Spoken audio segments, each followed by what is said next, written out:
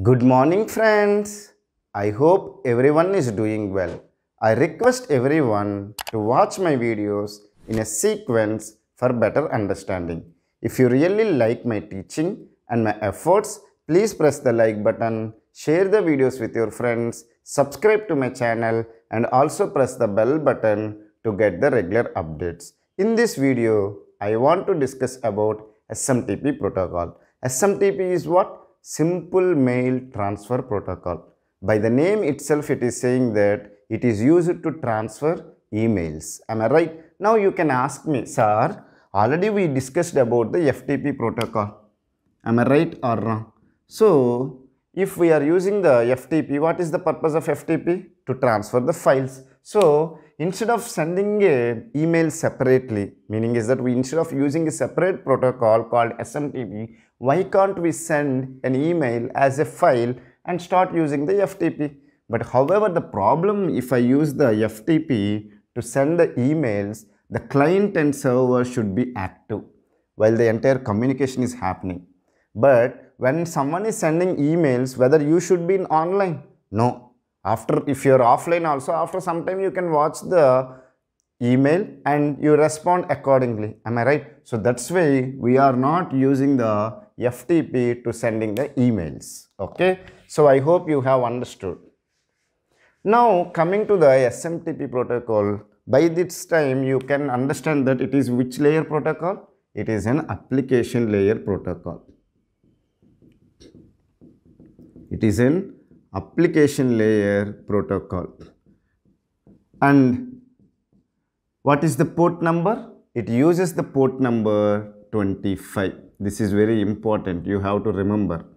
And whether a lot of people will ask me, even in the gate exams or in interviews, people will ask whether it is a stateful protocol or stateless protocol. Because whenever we talk about the application layer protocols, the first thing is that whether it is a stateful protocol or stateless protocol. It is a stateful protocol. Why it is a stateful protocol? What is meant by a stateful protocol? The meaning of the stateful protocol is that it, the client is there and the server is there. If server is noting down or storing the entire information about the client, am I right? What the client is doing. Once he logged in, what are the tasks he has performed. All these things, if server want to store, that kind of protocols we'll call it as a stateful protocol. So, however, it is a burden on the server, but for some protocols, we need the tracking.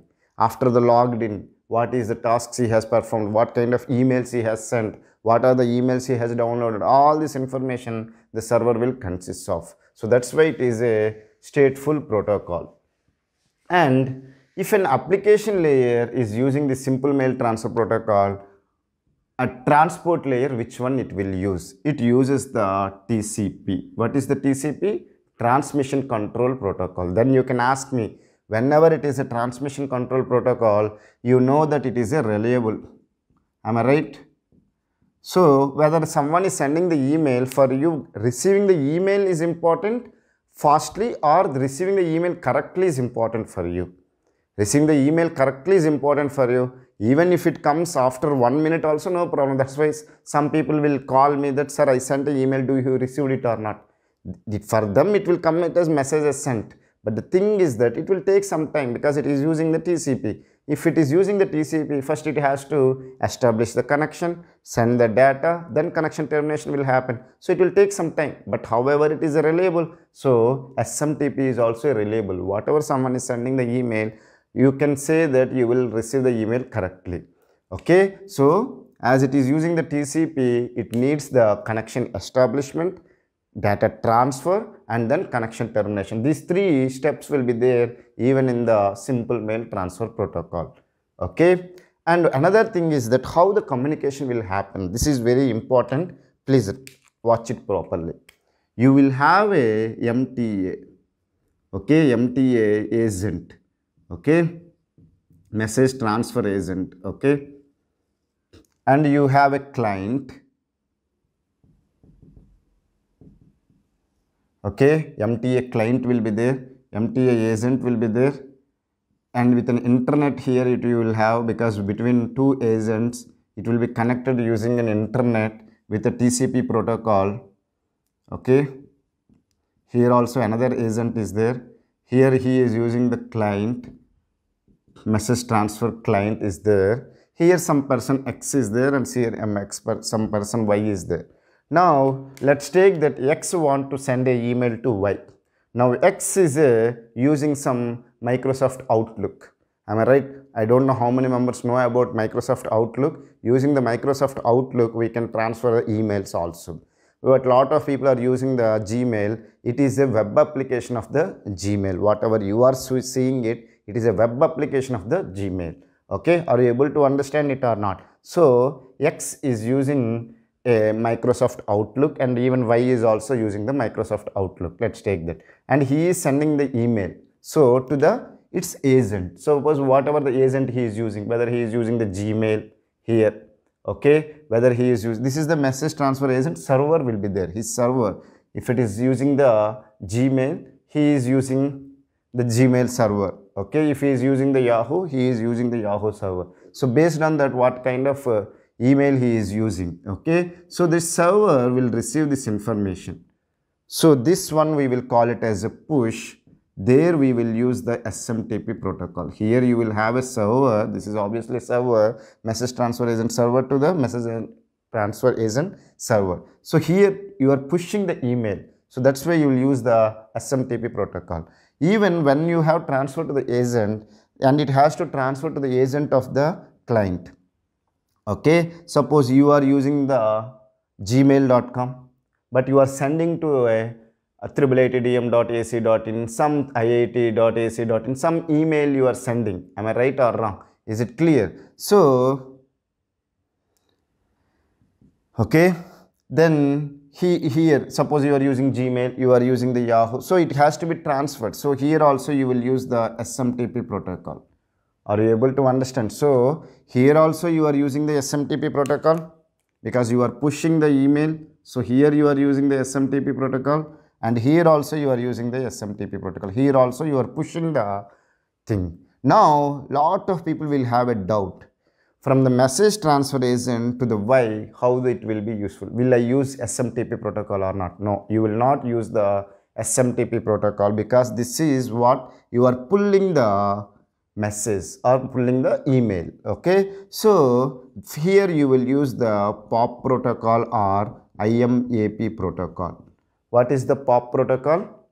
Post Office Protocol. Okay, IAMP is Internet Message Agent Protocol. Okay, not agent access protocol okay internet message access protocol and this is pop is post office protocol these two protocols anyone you can use either you can use the pop or iamp you can pull the email from the message transfer agent to the client so this is the way your email will be transferred from person x to the person y okay i hope you have understood now let me discuss what kind of commands will be there in the SMTP. Now, what kind of commands will be there in the SMTP? One is the hello. Hello is used to identify the client itself.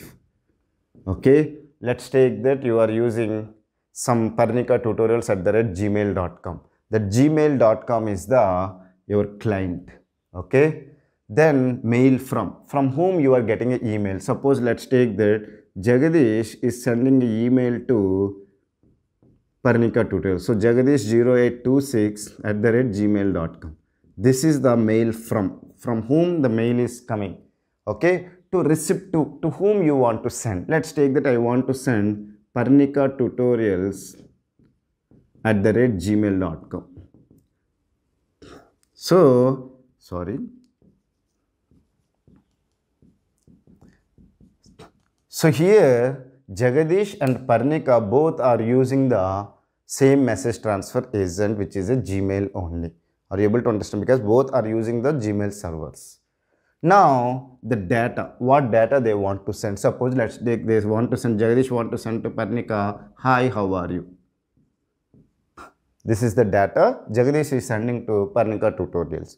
So this is the way the data will be transferred. Suppose if you want to terminate the email, okay, then you will use the quit and if you want to reset the connection then you will use this reset and if you want to verify suppose let's take that someone will send me an email and he will say that this is my email. Suppose let's take that if i say parnika tutorials but you somewhere you missed the l here and you sent then what you will get? You will get an automatic reply that this if it is there someone is saying that parnika tutorials where l is missing. If someone is having that email it will go to them but obviously you are sending to tutorials at the gmail.com you are waiting for the response. But tutorials does not get your email. Am i right or wrong? If you want to verify whether the recipient is there or not then you can use the verify whether corresponding receiver email is there or not. For that one you can use the verify command.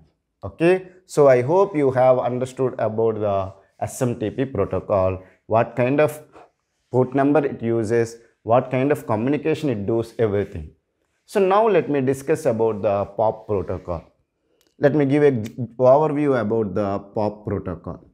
As i said earlier pop protocol is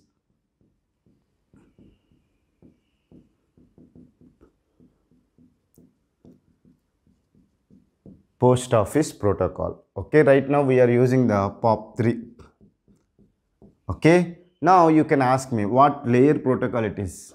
It is an application layer protocol.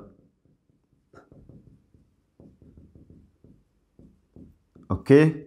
And what port number it uses? Lot of people will ask. If it is using 110 then it is non encrypted okay? It uses 995 port number for encrypted. Meaning is that if you want a secured communication the pop3 protocol uses the port number 995 okay? If you don't want the security then pop3 protocol uses the 110 port number. By default it goes the port number 110 now whether it is a stateful protocol or stateless protocol it is a stateful protocol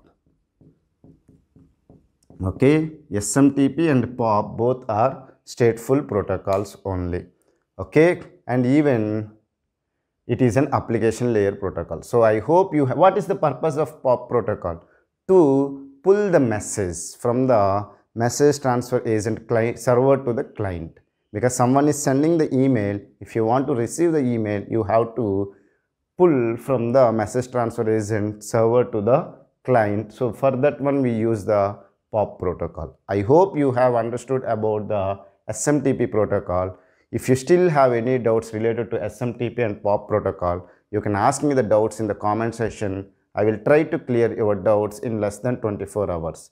Thank you for watching my video. Have a nice day.